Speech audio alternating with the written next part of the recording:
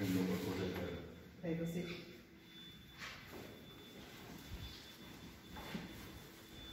Come tante altre scuole, anche noi ci siamo attrezzati. Qua esiste già da dieci anni, direi, la piattaforma Office 365 eh, che ha già le classi virtuali su cui gli insegnanti agiscono indipendentemente da questa situazione di emergenza che però insomma, può rappresentare un'opportunità per incrementare questa, eh, insomma, questa innovazione che, eh, verso cui stiamo andando.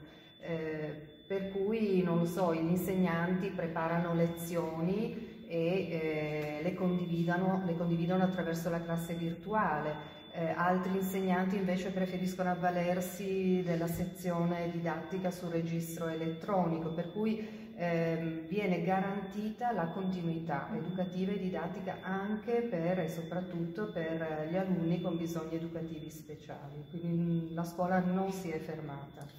In questo modo eh, si potrà anche finire nei tempi stabiliti l'anno scolastico? Sì, tenendo conto, precisiamo, non, non c'è più il programma, c'è un curricolo verticale che prevede il raggiungimento di obiettivi e sicuramente noi contiamo di arrivare alla fine dell'anno eh, garantendo le pari opportunità per tutti e soprattutto il diritto all'apprendimento, per cui eh, abbiamo sensibilizzato anche i genitori a controllare e a vigilare anche eh, sui propri figli affinché sfruttino questi, queste, questa tecnologia e insomma, questa condivisione di materiali, approfondimenti, eccetera.